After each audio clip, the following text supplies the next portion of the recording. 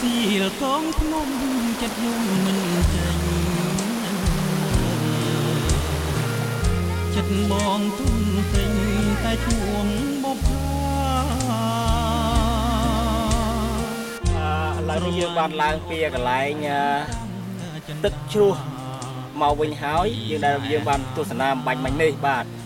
ហើយនៅទៅខាងលើទៀតនៅមានកន្លែងទឹកជ្រោះមួយជាន់ទៀតក៏ប៉ុន្តែយើងមកនេះវាជ្រុលពីអាស៊ីឡើយ ដូច្នេះយើង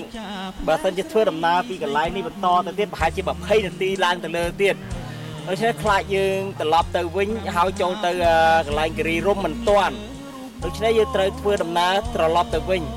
អឺបងប្អូនគួរគិតឃើញថា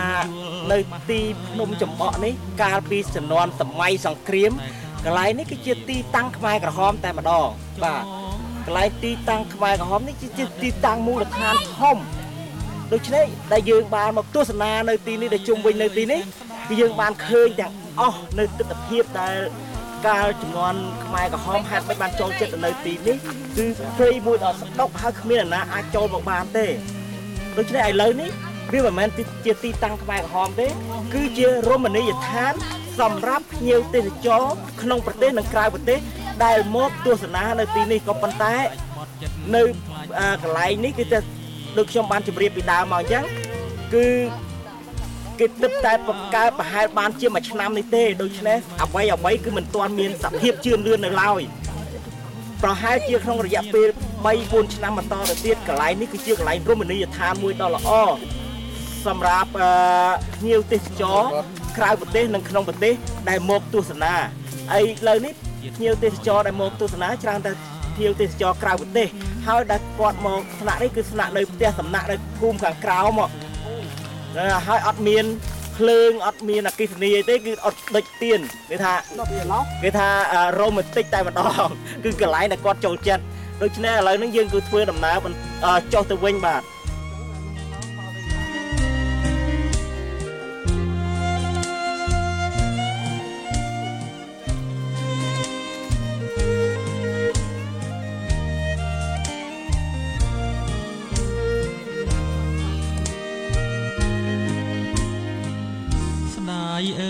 សែនស្ដាយស្ដាយក្លិនបុប្ផា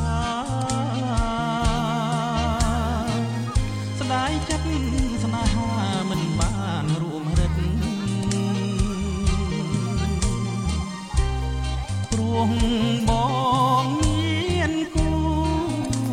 ប្រចាំជីវិតមិនអាចក្បត់ចិត្តខ្លាចតាមវេរី បុប្ផាក៏លេបានក៏លេបានបងមិនហ៊ានបេះមិ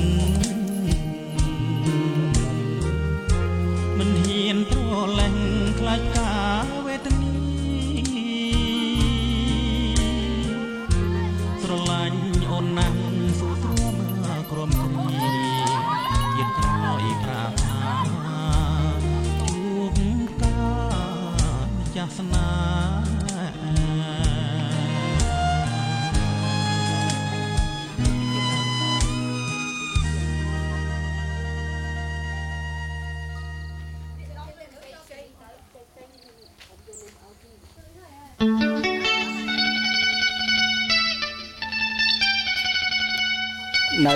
ជើងភ្នំចំបក់ហ្នឹងកន្លែងនេះគឺជាទីតាំងវត្តចំបក់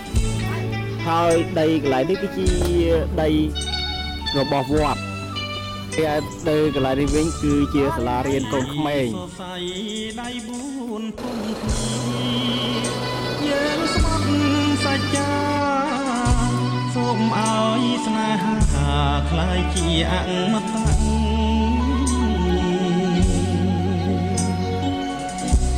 ានឆ្លងភ្នំភ្លើងហែលកាត់គ្រួងខ្លាំងចិត្តយើងគឺជាអូនស្មោះនៅពេលនេះផងដែរយើងក៏បានធ្វើដំណើរចេញពីទីរមណីយដ្ឋានទឹកជួសចំបក់ហើយនឹងថាទៅលេងនៅរមណីយដ្ឋានគិរីរម្យ ក៏ប៉ុន្តែនៅពេលដែលយើងធ្វើដំណើរមកបានពាក់កណ្ដាលផ្លូវយើងក៏បានបែកចិត្តចង់ទៅលេងនៅចំការស្វាយវិញចង់ដឹងថាតើនៅក្នុងស្រុកខ្មែរកុំសត់ហ៊ានគេដាំស្វាយបានដោយរបៀបណាដូច្នេះនៅពេលនេះផងដែរយើងក៏បានមកដល់ចំការស្វាយមួយនៅនៅក្នុងខេត្តកំពង់ស្ពឺដូចគ្នា សូមបងប្អូនទាំងអស់តាមដាននិងទស្សនាជាមួយនឹងយើងខ្ញុំអំពីចំការស្វាយនេះហើយនឹងថាតើ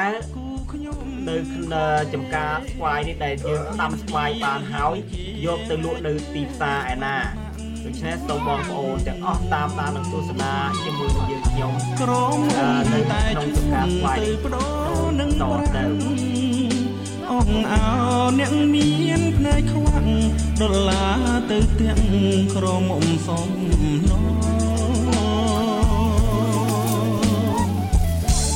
ឯកខ្មៅកំឡៅคล้ายខ្លួនជាហងដោយកុកភ្លេចជុំភ្លេចទៀបឆោតល្ងងលងក្នុងវណ្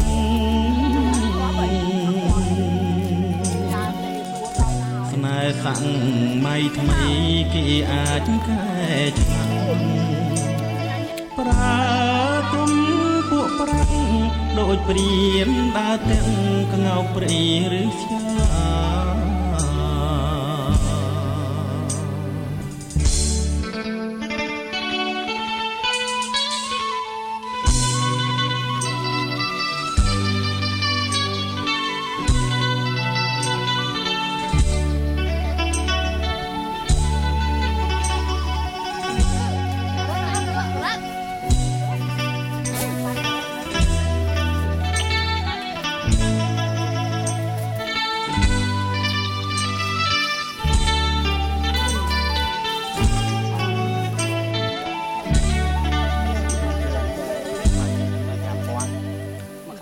បាទឥឡូវគេលក់30000ឥឡូវគេ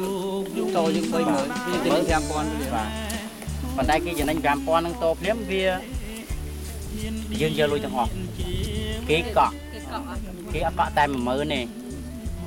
អញ្ចឹងដល់ទៅពេលអញ្ចឹងគេសុខចិត្តអានេះមកដើមមកដើមបាន100គីឡូខ្លះអូលើស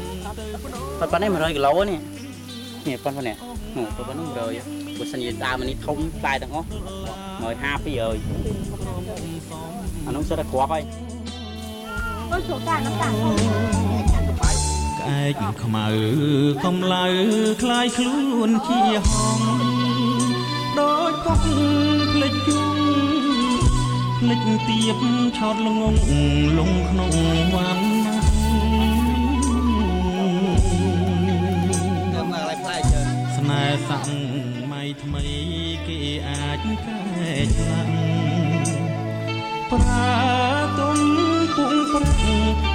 មានដើរទាំងខ្ងោកព្រៃរឹងស្យា